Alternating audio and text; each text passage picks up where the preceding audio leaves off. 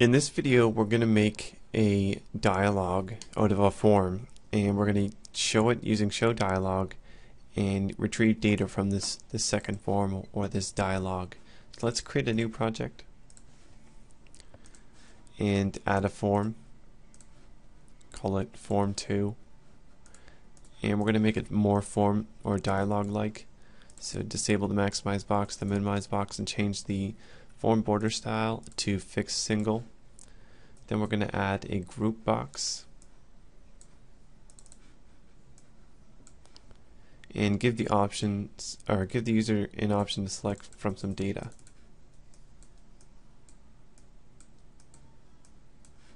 And we're going to add a button. This is going to be the OK button and you can set dialog result to OK and that's what I'm going to do in this video. If you set the dialog result of the button it will cause the form to close when this button is clicked and return this value uh, in the show dialog method. Uh, you can you can do this you can do this dot dialog results is equal to dialog result okay and then close the form manually but in our case we don't need to do that so let's go to the form one and we're just going to register to the mails click event. So when we click the form, we want to show our dialog. And before we actually do that, I'm going to go back to the dialog here and we're going to expose a get set accessor public string selected text get set and just do some easy stuff here.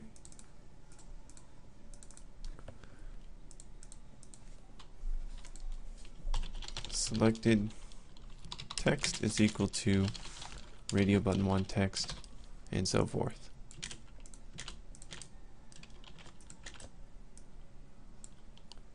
So now the user can effectively set data that we can access back on the uh, main form. So let's do that. So we're going to show our form 2 here. Form 2, form 2 is equal to new form 2. Form 2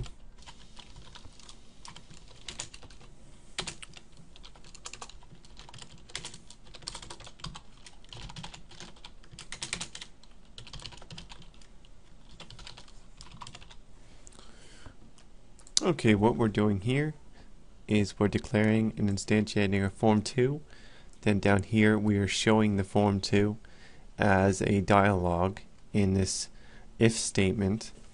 So once it gets to this code here it's going to show the form and it's going to block here until the user closes the form in some way and then after the user closes the form this show dialog method will return a dialog result and then it, the program can go on to testing the dialog result. If the dialog result is equal to OK, then assign the um, selected text to the text property of the form. So click on the form, select radio button 2, press OK, and the form's text is radio button 2. Now if I were to do that, just hit exit instead, it's not going to set my text because if you press the exit button on the form border, show dialog will return dialog result cancel. So basically with this technique you want to create a new form and expose data to that form as a public property and show that that second form in the first form using show dialog and then after that you want to test the the return value of show dialog if the return value is equal to OK, then set the appropriate properties or do whatever you want with the data that you exposed earlier.